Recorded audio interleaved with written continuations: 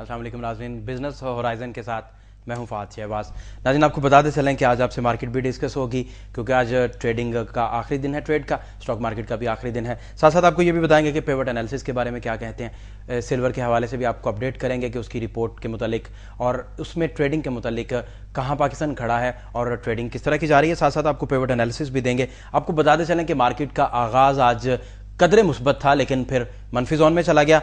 लेकिन सरमाकारों की सपोर्ट ना मिलने की वजह से इंडेक्स जल्द ही जो है, वो मनफी जोन में चला गया। और फ़र्स्ट हाफ़ के अहतमाम तक मार्केट में मनफी रुझान जो है, वो बरकरार रहा। ट्रेडिंग के दौरान के एस सी हंड्रेड इंडेक्स ग्यारह हज़ार दो सौ सड़सठ पॉइंट्स लेवल का हाई लगाया और ग्यारह हज़ार एक सौ अठारह का लो लगाकर साठ पॉइंट्स की कमी के साथ ग्यारह हज़ार एक सौ सत्ताईस पर बंद भी हुआ। साथ साथ आपको नाजरीन ये भी बताते चलें कि कारोबारी हजम मजमू तौर पर डेढ़ करोड़ रिकॉर्ड किया गया, जो कि सरमाकारों की अदम दिलचस्पी का मुँह बोलता सबूत भी है। अगर बात करें हम वॉल्यूम लीडर्स की तो Fatima fertilizer, Fauji fertilizer, Engro corporation Fauji fertilizer Bin Qasim, hub power company, ये वॉल्यूम लीडर्स थे हमारे पास। साथ साथ आपको ये भी बताते चलें कि मार्केट का आगाज़ आज जुमा कारोबारी हफ़्ते का आखिरी दिन भी है। मार्केट का आगाज़ जो है वो मुस्बत हुआ, लेकिन सरमाकारों की सपोर्ट ना मिलने की वजह से इंडेक्स जल्द ही मनफी जोन में भी चला गया। आपको साथ साथ नाजिन ये भी बताते चलें कि आज की जो न्यूज़ अपडेट्स हैं हमारे पास, क्योंकि नाजिन का न्यूज़ अपडेट्स को जानना इंतहाई लाजिम इसलिए भी है कि यहाँ से पता चलता है कि किन किन लोगों ने कितना इन्वेस्ट करना है और मार्केट की मौजूदा सूरत हाल अपडेटेड सूरत हाल क्या है। आपको बताते चलें कि सेंट्रल बैंक के जारी करदा डाटा के मुताबिक तीस दिसंबर दो हज़ार ग्यारह को खत्म होने वाले हफ़्ते में मुल्क में गैर मुल्की जर मुबादला जखायर सोलह अशारिया सात सात अरब डॉलर से बढ़कर सोलह अशारिया आठ पाँच अरब डॉलर हो गए।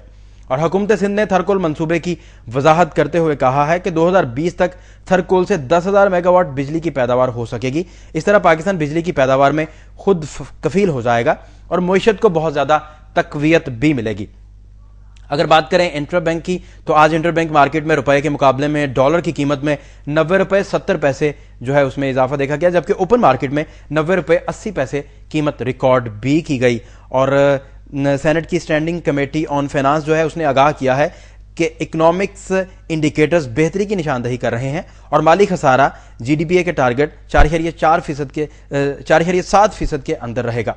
साथ साथ आपको बताते चलें कि एस के डेटा के मुताबिक दिसंबर 2011 के दौरान 271 नई कंपनियाँ जो हैं, वो रजिस्टर्ड होती हुई हमें नज़र भी आएँगी। साथ साथ आपको यह भी बताते चलें कि आज का पेवट पॉइंट जो है अगर पेवट पॉइंट पर नज़र डालें तो 11,233 जो है आज का पेवट पॉइंट है।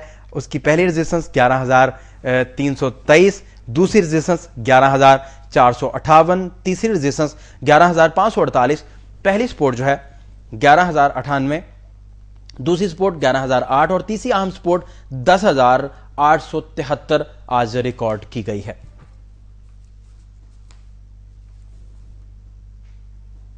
नाजिन, यहाँ वक्त हुआ एक ब्रेक का। ब्रेक से जब वापस आएँगे तो सबा खान मार्केट एनालिस्ट भी हमारे साथ टेलीफोन लाइन पर मौजूद होंगी। इसके अलावा हम अपने प्रोग्राम में सिल्वर के मुतालिक भी आपको अपडेट करेंगे और तजिया निगारों को खसूस आप लोगों के लिए लाइन पर लेकर उनसे बात करेंगे कि कौन सी ऐसी वजूहत हैं कि सियासत और मीशत जो है चोली दामन का साथ पाकिस्तान में क्यों है? हुकूमत अपने एंड पर कौन से ऐसे इकदाम करे कि मामला को बेहतर बनाया जा सके? यहाँ वक्त हुआ एक ब्रेक का। हमारे साथ रहिएगा।